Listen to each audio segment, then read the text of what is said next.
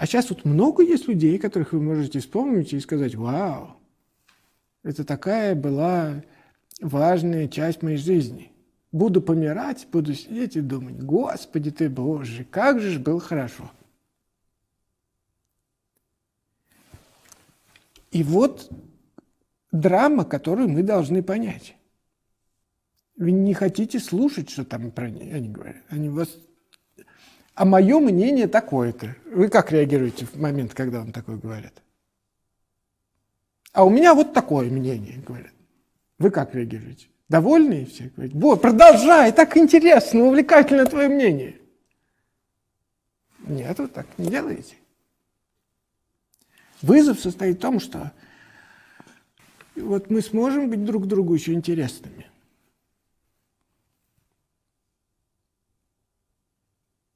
Сможем ли мы получать настоящее удовольствие от общения с другими людьми? Что для этого нужно? И вот мы видим составляющие. Первое – это нужен навык высказываний, сказания того, что вы внутри себя ощущаете как смыслы. И это внутренняя работа.